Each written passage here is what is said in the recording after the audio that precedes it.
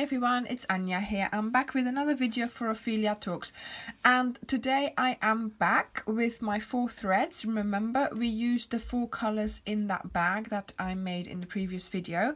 Um, but today we are going to make decoration for the bag and here are my flowers that I have made up to now. Um, so I have started and I will be showing you how to make the uh, flowers and the leaves. Now I haven't um, put in or haven't sewn in any end because here they all are. I've left them quite long because I am actually using the ends to sew them onto the bag. So I didn't want to get rid of them or sew them in because then you would have to get another piece of, um, you know, wool out to attach them.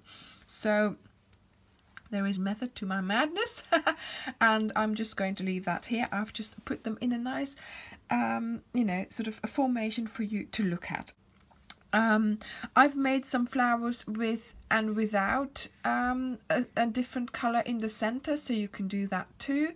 Um, there is one pattern, but you can make a small flower and a big flower with that. So let me show you how to make the leaf. So we have our duck egg blue, which I'm thinking is a little bit like green, so I'm going to use that for my leaves. I've just made a slip knot and I am going to chain nine. One, two, three, four, five, six, seven, eight, nine. Not too tight, not too loose. Okay. Now we're going to skip this ninth chain here and we are going to do into the eighth chain we are going to do a single crochet into the next chain we are going to do a half double crochet and into the next one a half double crochet. Into the next one we are doing a double crochet. So yarn over. Yes if it wants to. Ah, and into the chain right about there. Make sure you don't skip any chains here. Or you don't put two in the same stitch. So another double crochet. So we've got single two half double and two double. Now we're going to go down again by doing two half double.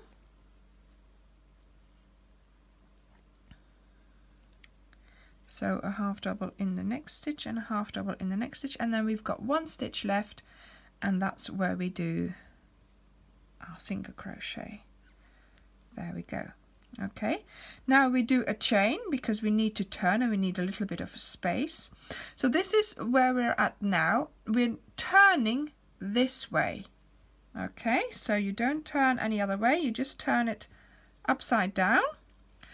And we are now going to work in that third leg of that starting chain. So this one here. Okay. And so we've done our chain. We are now back to where we need to do that first single crochet. There we go. Then half double, half double,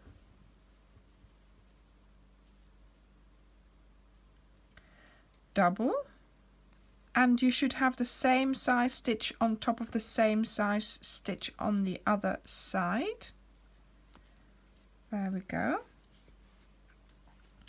Then we're back at the half double crochets. And here is one as well.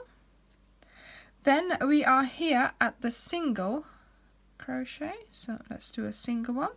And what I do then is I find this stitch here and I do a slip stitch into it just to sort of make a little bit of a pointy end to my leaf. And then I start doing slip stitches through the middle of my leaf like this.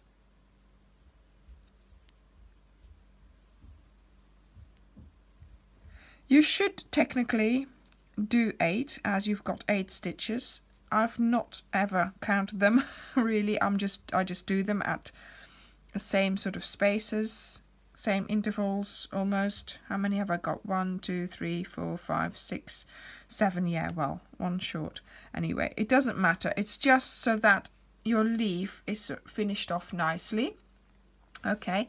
But also it brings you back to the start. So all your ends will be on the same side then I tend to do a slip stitch just round the edge of my leaf just to finish it off and then I cut it off quite long because I use the ends for sewing on. So this is one of my leaves made and let's take a look at how the flower is made. Right, so now we are ready to start the flower. So we're going to do a magic circle and we are going to start with just a chain into that magic circle like so. Then we do a single crochet and a chain. And we need to repeat this so we have five chain spaces. So I've got two, three, four, and five. So we close our magic circle. We find that first single crochet, so not the chain, but the single crochet, you go into that and you do a slip stitch to close up, which is my, yeah, this one, to close up your circle. There we go. Okay, so now here we have five single crochets and five chain spaces. This is what you need to do the petals. So we'll be making the petals into the chain spaces. If you are not changing colors here, you will have to slip stitch to the first chain space to get started. Okay, and let's get our hook in too. And if I do change color, I always go back to the chain space just in front of my um, of my end there, of my fastening of there. So let's get going on this one. So I pull through my wool and I do a chain like so around the chain space just so that it's attached and I pull it at the other end, right? So I'm trying to hold on to everything here. okay, now we're doing three chains, one, two, three. Then into that same chain space, we are going to do a double crochet, another double crochet, and then we do three chains, one, two, three, and we bring it down with a slip stitch into that same chain space. There we go. Okay, so that's one petal made. Then we are going to go and look for that next chain space. And I'm going to try and take this one. No, just leave it there because I can use it. So leave the ends for sewing your flower onto your bag. So a slip stitch into the next chain space and we repeat the same thing. So three chains, two double crochets, and three chains, one, two, three, and a slip stitch. And that's how we're going to go round all the way.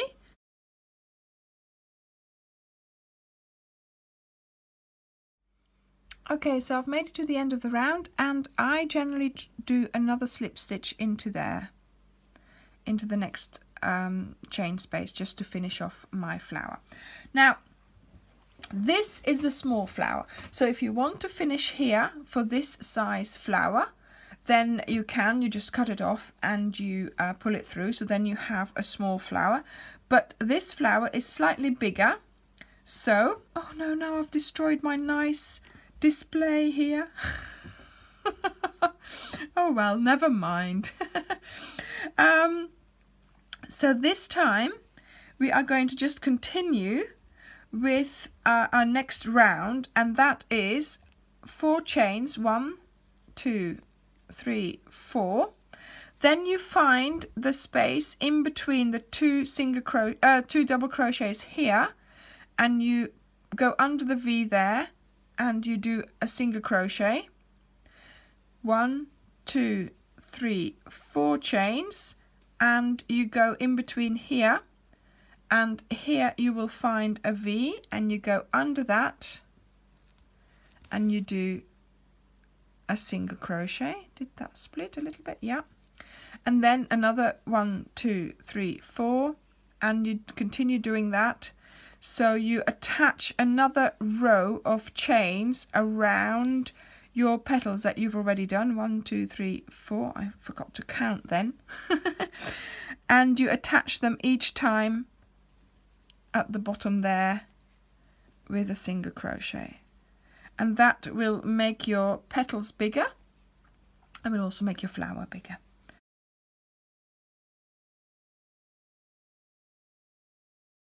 And we are nearly there. We are at the end here. So I find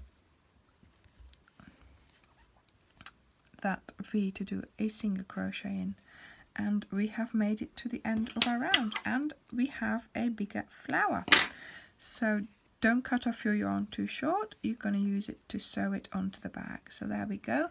So that's the bigger flower and as you can see here the middle you still have to pull it closed.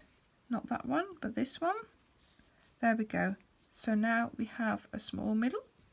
So these are the bigger flowers that we have made just now and these are the smaller flowers which you cut off before you do that last row.